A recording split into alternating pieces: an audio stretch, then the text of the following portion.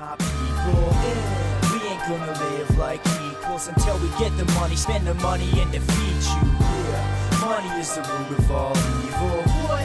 Funny how it feeds my people. Yeah. We ain't gonna live like equals until we get the money, spend the money, and defeat you.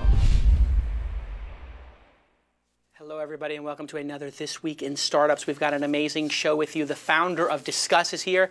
This is a site I dismissed. This is another one of these stupid, stupid things where I had like this young entrepreneur. This is why, this is why I became an angel investor.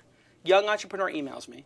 He's like, hey, I'm doing this company. And I'm just like, oh my God, a commenting system for blogs? That's so stupid. Get, get out of here, kid. You bother me. Yeah. But what do I know? I'm an idiot. Yeah. Now he's got like, according to Quantcast, his site's like the number three site behind Facebook or something. I mean, it's he gets to group together with all the other Yes. comments for his site. So it's, I mean, it's not like it's his traffic. Right. But still, I mean, the thing, this company's worth probably $100 million right now. And I bet you if I'd asked angel invest, I probably would have got in at like five. More money I've lost because I don't listen to young people when they say they're going to change the world. I'm an idiot. And this guy proved me wrong. I dismissed him. I was like, ah, I don't need your comment system. Get out of here, kid. You bother me. Just like I did like five other people. I'm such an idiot. Who, who else? I don't want to get into it. No, no, it starts getting frustrating because I need Uh, money Matt, right Matt now. Coffin says you kind of blew him off with Matt lower my bills. Yeah. Well, of course I did that. I was like, Matt Coffin's like, oh, it's lower my bills. You email us all your bills. This was Yeah. his original idea. He came to you with this before he did it. But like right when he Early, started, or very on. early, Yes. before he sold for five hundred million dollars. Like, Yes. Everybody emails their. We get your bills. You, you send them to our PO box. Mm-hmm. We scan in your bills, your you know credit card, whatever, savings bills, sort of like Mint or whatever, Uh-huh. and then we negotiate lower prices based upon calling up your people. Mm-hmm. Hey, I'm Jason Calacanis' assistant. He would like to get a lower price on the credit card. If you will not give it to him, we're going to go to somewhere else. Will you give it to him? And then they just pass that on to you, the savings, Yeah. and they make a bounty or whatever. Yes.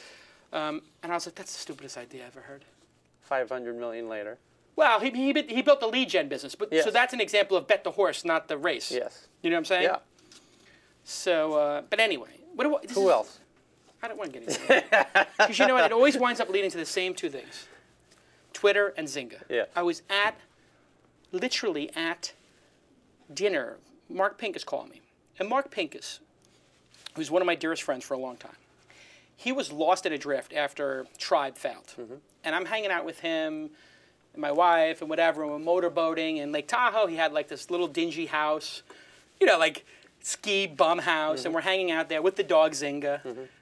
You know, and I had my dog Toro. It was really, now they're both dead. It's really kind of bumming me out. But we, we had like this Bill Bomb because we mm-hmm. both loved our dogs so much. We were Yeah. like single guys with you Yeah. know dogs that were. He had an American bulldog. I had an English bulldog. We were sort of simpatico. We were both Yeah. hated in the industry.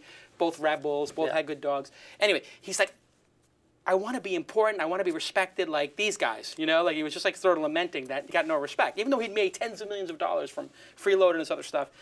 And he's like, I'm going to buy this poker thing that's on Facebook. This kid's make a, made a poker thing. I'm like, that Facebook is a joke. What are you doing? There's no money to be made. He's like, well, you sell the chips virtually. I'm like, what? I play poker. You, you're going to sell virtual chips? It's the stupidest idea I've ever seen. And he's like, yeah, well, I'll angel invest in Mahalo, and if you want to angel invest in Zynga, if I if I literally put hundred thousand dollars into that, Yeah. do you know how much it would be worth right now? 10 million? It probably would have been at a five million dollar valuation. The company's worth five billion now. So That's a thousand x. Oh, Jesus. A hundred x would be five hundred. A thousand x. So what's a hundred thousand times a thousand? Is that a hundred million dollars? It's about a hundred million dollars. The same thing with Twitter. And I thought that was a stupid idea. You've been watching This Week in Startups. To watch the full episode, click here. To check out some other shows from This Week In, click here.